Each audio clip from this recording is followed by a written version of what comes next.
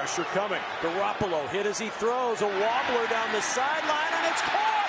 Deebo Samuel with the catch and trying to turn on the Jets. He'll